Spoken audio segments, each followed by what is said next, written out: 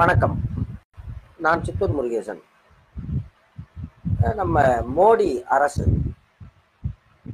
மனித வளத்துறையா அது என்ன கருமம் தெரியல. அவங்க வந்து ஏதோ போன மாதம் ஒரு மீட்டிங் போட்டாங்களாம். மீட்டிங் போட்டு ஒரு ப்ரொப்போசல் ரெடி பண்ணியிருக்காங்க. அது என்னடான்னா வருஷா வருஷம் ஒரு பத்து லட்சம் இளைஞர் இளைஞருக்கு இராணுவ பயிற்சி கொடுக்க போகிறாங்களாம் அந்த இராணுவ பயிற்சியில் கலந்துக்கிட்டவங்க தான் எதிர்காலத்தில் வந்து இந்த இராணுவம் இந்த பார்டர் செக்யூரிட்டி ஃபோர்ஸு இதுக்கெல்லாம் வந்து குவாலிஃபைடாக இதில் வந்து அந்த இளைஞர்கள் இளைஞருக்கு ஆயுர்வேதத்தில் பயிற்சி கொடுப்பாங்களாம். யோகா கற்றுக் கொடுப்பாங்களாம். அதே போல் பண்டைய தத்துவம் அதுலேயும் பயிற்சி கொடுப்பாங்களாம். இப்படி ஒரு ப்ரொபோசல் இதை வந்து நம்ம தினமலர் அவர் வந்து செய்தியாக போட்டிருக்கார். இப்போ இங்கே இந்த முகநூலில் உள்ளவங்க ஆகட்டும் இல்லை பிளாக் காலத்தில் அது நாம் வந்து பதினேழு வருஷம் ஆச்சு. பிளாக் எழுத ஆரம்பிச்சு. அதிலெல்லாம் வந்து நாம் இப்போ நாத்திக்கிட்டே கிடந்தோம். என்ன பத்து கோடி வேலையற்ற இளைஞர் இளைஞரை கொண்டு சிறப்பு இராணுவம் அமைத்து அந்த சிறப்பு இராணுவத்தை கொண்டு நதிகளை இணைக்க வேண்டும். இது நம்ம ஆக்ஷன் பிளான்ல ஒரு பாயிண்ட் நாம சொல்லிக்கிட்டு வந்தப்ப ஜனங்க வந்து கை கை ஊத்துனாங்க. இது அந்த காலத்துல வந்து இந்த கூகுள் குரூப்ஸ் அது ரொம்ப பிரபலம். அதில் வந்து ஏதோ ஒரு குரூப்பில் வந்து பெரிய டிஸ்கஷன் எல்லாம் நடந்தது. இதெல்லாம் வெட்டி இதெல்லாம் சாத்தியம் இல்லை அப்படிங்கிற மாதிரிலாம். இப்போ இந்த டிமானிட்டைசேஷன் பண மதிப்பிழப்பு விவகாரம் இது உங்களுக்கு ஞாபகம் இருக்கும்னு நினைக்கிறேன். இதான் வந்து ஆப்ரேஷன் இந்தியா டூ தௌசண்ட் அப்படிங்கிற என்னுடைய ஆக்ஷன் பிளான்ல ஒரு முக்கியமான பாயிண்ட் அப்பவும் வந்து அதை வந்து பைத்தியகாரத்தனம்னாங்க அதை உண்மையிலேயே பைத்தியகாரத்தனமாக இம்ப்ளிமெண்ட் பண்ணி மக்கள் உசுருக்கே ஒல வச்சிட்டார். மோடி சார் அதெல்லாம் வந்து ஒரு சர்ஜரி மாதிரி. சர்ஜரி பண்ணும்போது கோணி ஊசியில் தையல் போடுறது அஹ், துருப்பிடிச்ச கத்தியில் அறுக்கிறது இதெல்லாம் பண்ணக்கூடாது அது அந்த ரூமே வந்து ஸ்டெர்லைஸ்டாக இருக்கணும். அதெல்லாம் வேற. சொதப்பி முடிச்சிட்டானுங்க. முடிச்சுட்டு இந்திய பொருளாதாரத்தை இடுப்பில் ஒரு வெட்டு வெட்டி. நம்ம இந்தியன் தாத்தா வர்ம பிடியா அது என்ன கர்மம்? அந்த மாதிரி போட்டு உட்கார வச்சுட்டானுங்க. அடுத்தது ஜிஎஸ்டி இதை போட்டு நாரடிச்சாச்சு. இப்போ இது. இப்போ ஒரு விஷயத்த நல்லா புரிஞ்சுக்கணும். காரியம் ஒண்ணுதான். அதை யார் பண்றாங்க? அதை பொறுத்து அதனுடைய இன்டென்ஷன் விளைவுகள் எல்லாமே மாறி போயிடுது. இப்போ வந்து இந்த அது என்ன அது? இந்த பண மதிப்பிழப்பு. இந்த மேட்ரையே வந்து யூபிஏ அரசாங்கத்தில் யாருக்கும் தெரியாமல் ஒரு குறிப்பிட்ட சீரியல் நம்பர் அது பேங்க்குக்கு வரும்போது பேங்க்கில் அமைக்கிடுவாங்க அப்படியே. அதே போல் இந்திரா காந்தி காலத்துலலாம் கூட நடந்தது. ஜனதா பீரியடில் நினைக்கிறேன். நடந்தது. அது யாருக்குமே தெரியாது. ஏன்னா அன்னைக்கு இருந்த எக்கானமி வேற இன்னைக்கு இருக்கிற எக்கானமி வேற. இன்னைக்கு இருக்கக்கூடிய பணவீக்கத்துல எல்லாரும் வச்சிருக்கான். இந்த ஐநூறு ஆயிரம் ரெண்டாயிரம்லாம். சொதப்பி முடிச்சிட்டானுங்க. இப்ப இந்த சிறப்பு இராணுவம் இப்போ வந்து இந்த பத்து லட்சம் இளைஞர் இளைஞரை வந்து ரா- ராணுவ பயிற்சி கொடுக்க போறோங்கிறான். ஸ்டைஃபண்டும் கொடுப்பாங்களாம். இப்ப ராணுவ பயிற்சி இதை பற்றி வந்து ஓஷோ பயங்கரமாக நக்கல் அடிச்சிருவார் அதாவது ஒரு ஓய்வு பெற்ற ராணுவ வீரர் கோழி பண்ண வச்சுக்கிட்டு முட்டையை முட்டை ட்ரே எல்லாம் வந்து கட்டு கட்டி தூக்கிட்டு போவார். தூக்கிட்டு போகும்போது எவனோ ஒருத்தன் திடீர்னு அட்டென்ஷன் அப்படின்வான் உடனே அந்த முட்டையை போட்டுருவார் எல்லாம் உடஞ்சிடும் அதாவது ராணுவ பயிற்சிங்கிறதே வந்து என்னடான்னா ஒரு மனுஷனை வந்து ரோபோவா மாத்துறது. இப்போ வருஷத்துக்கு பத்து லட்சம். அதாவது இது ஒன்றும் இன்னைக்கே அமலாக போகிறதில்ல ஒரு வெங்காயமும் இல்லை. ஆனால் எதிர்காலத்தில் யூபிஏ வரும். காங்கிரஸ் ஒன்றும் உத்தமம் அப்படின்னு நான் சொன்னதில்லை. Congress slow poison. பிஜேபி வந்து எலிவேசம் அவ்வளோதான் இப்போ இந்த ப்ரப்போசலை யூபிஏ அரசாங்கத்தில் தட்டுவான்.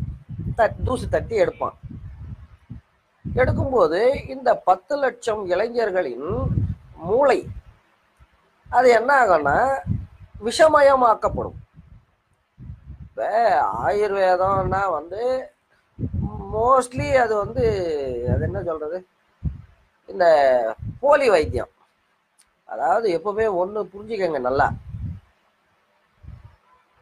ஆராய்ச்சி அல்லாத ஆராய்ச்சி தொடராத எந்த ஒரு மேட்டருமே வந்து என்னடான்னா ஏமாத்தா போயிடும் இப்போ வந்து இந்த ஜோதிடம். ஜோதிடம் கூட சரி. இப்போ வந்து மற்றவங்க அவங்க வந்து ஏதோ சில புத்தகங்கள் அது ஏதோ சில விதிகள் அதை மனப்பாடம் பண்ணிட்டு கிளிப்பிள்ளை மாதிரி அதை சொல்லிக்கிட்டு கிடப்பாங்க. அது ஒரு இன்னொன்று வந்து ஆராய்ச்சி. அதாவது வந்து இன்ட்ராக்ஷன் இப்போ மருந்து அப்படின்னா வந்து நோயாளியோட இன்ட்ராக்ஷன் இருக்கணும். அந்த இன்ட்ராக்ஷனை வச்சு தான் வந்து அதை அப்டேட் பண்ணுறதோ அப்கிரேட் பண்ணுறதோ இல்லை இது இன்னும் வேலைக்கு ஆகாதுன்னு முடிவு பண்ணுறதோ செய்யணும். ஆனால் வந்து இந்த ஆயுர்வேதம்லாம் வந்து எப்படின்னா எப்போ எழுதி வச்சுட்டாங்க அப்படின்பா எப்போ வந்து ஒரு விஷயம் வந்து சர்ச்சைக்கு உட்பட்டதாக இருக்கிறதோ அதை அரசாங்கம் வந்து ஸ்பான்சர் பண்ணப்படாது. ஒன்று அடுத்தது யோகா. இந்த யோகாங்கிறது வந்து பலருக்கும் கன்ஃபியூஷன் இருக்கு. இதில் யோகம் அப்படிங்கிறது வந்து என்னடான்னா மைண்டுக்கு சம்மந்தப்பட்டது யோகா அப்படிங்கிறது வந்து என்னடான்னா உடலுக்கு சம்மந்தப்பட்டது இப்போ வேலை வெட்டி இல்லாத திண்ணையில் உக்காந்துக்கிட்டு தின்னது செரிக்கிறதுக்காக தொப்பையில் சந்தனத்தை பூசிக்கிட்டு முதுகை சொரிஞ்சிக்கிட்டு கிடக்கிறவனுக்கு யோகா தேவை. அது ஒரு பக்கம். இது இதெல்லாம் அது இதில் ரொம்ப ரொம்ப ஆபத்தான ஒரு மேட்ரு என்னடான்னா பண்டைய தத்துவத்தில் பயிற்சியாம். இராணுவத்துக்கும் தத்துவத்துக்கும் என்ன சம்பந்தம் இருக்கு? இராணுவம்னா என்ன? அடிச்சு தூள் பண்ணணும் அதான் இராணுவம். இப்போ நான் வந்து ஏற்கனவே ஒரு வீடியோ போட்டேன். இப்போ வந்து மோடி ரெண்டாயிரத்தி பத்தொம்போதுலேயும் தப்பி தவறி ஜெயிக்கணும் அப்படின்னா அவர் என்ன பண்ணலாம்? சிம்பிள் பாயிண்ட்டு இப்போ வந்து எப்படியும் வந்து மக்களை கசக்கி பிழிஞ்சி இந்த ஜிஎஸ்டி இன்னும் எத்தனை இருக்கு? இப்போ வந்து அது என்ன கருமம் டிஜிட்டல் இந்தியான்னானுங்க ஒரு சைக்கிள் வாங்கலான்னு போனோம். சரி ஏடிஎம்ல போய் காசு கொண்டுட்டு வரணுமே. இது பெரிய கடையாக இருக்குது ஸ்வைப்பிங் இருக்கான்னு கேட்டால் அவன் என்ன சொல்கிறான் எனக்கு வந்து எட்டு பர்சன்ட் லாஸ் ஆகும். எட்டு பர்சன்ட் சேர்த்து கொடுக்குற மாதிரி இருந்தால் ஸ்வீப் பண்ணுங்கங்கிறான். இதுதான் டிஜிட்டல் இந்தியா இந்த மாதிரி ஆட்டையை போட்ட பணம் நிறைய இருக்குது இப்போ சிம்பிள் ஒரு ஷார்ட் டர்ம் பிளான் அதாவது வந்து இந்த சத்துணவு அமைப்பாளர்கள் சாலை பணியாளர்கள் இந்த மாதிரி தாலி கட்டிக்காமல் ஒரு ஷார்ட் டேர்ம் ப்ராஜெக்ட் ஒரு ஆறு மாதம் நாட்டில் இருக்கக்கூடிய எல்லா உதகாத வேலைகளையும் தூர வச்சுட்டு இருக்கக்கூடிய நீர்நிலைகளை காப்பாற்றலாம் இப்போ இது பத்து லட்சங்கிறது வந்து என்னடான்னா சும்மா ஏரியில் ரசம் வச்ச மாதிரி. இந்தியாங்கிறது எவ்வளவு பெரிய நாடு? எத்தனை ஆறுகள் எத்தனை குளங்கள் எத்தனை ஏரிகள்? ஒரு பத்து கோடி பேரை அப்பாயிண்ட் பண்ணு. அப்பாயிண்ட் பண்ணி அவங்களுக்கு இராணுவம் செக்யூரிட்டி கொடுத்தோம் இந்த ஆக்கிரமிப்புகளை எல்லாம் அகற்றி செய்யலாம். ஒரு ஆறு மாதம் அதையெல்லாம் விட்டு போட்டு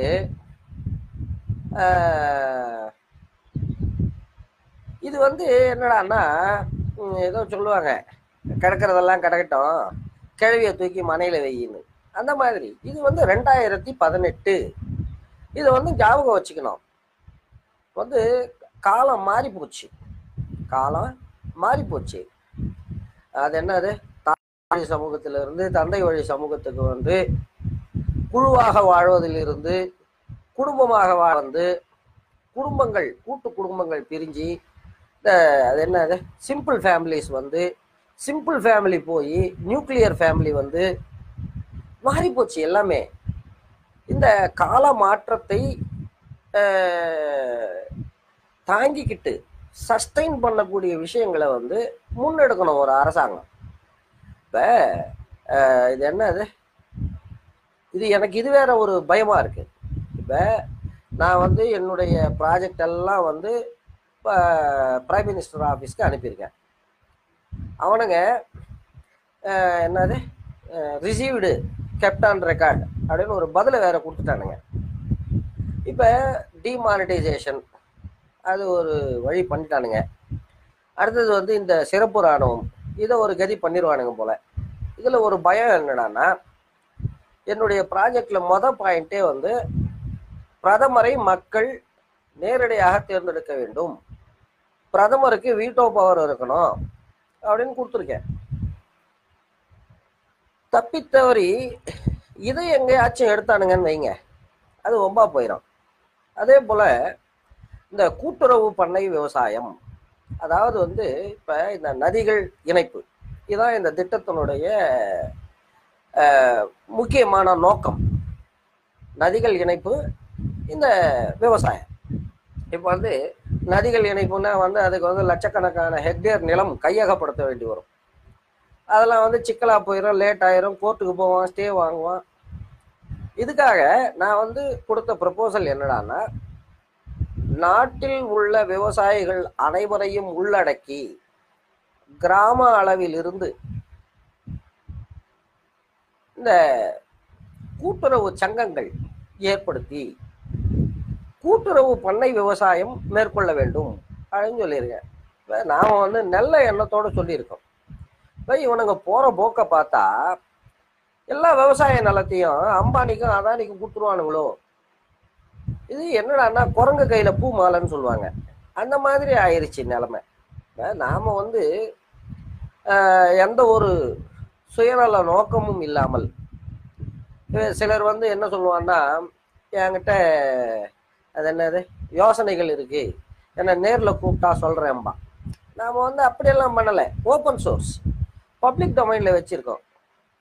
இதெல்லாம் எங்கே தான் போய் முடிய போதோ பயமாக இருக்குது ஆனால் ஒன்று இந்த டிஸ்கின்னு வாங்க டிஸ்க்ளைமர் அப்படி என்னுடைய யோசனைகள் நல்ல நோக்கத்தில் தரப்பட்டவை. இவற்றை இதை பக்கிங்க மிஸ்யூஸ் பண்ணானுங்கன்னா அதற்கும் எனக்கும் எந்த சம்பந்தமும் கிடையாது. நன்றி வணக்கம். சித்தூரிலிருந்து முருகேசன்.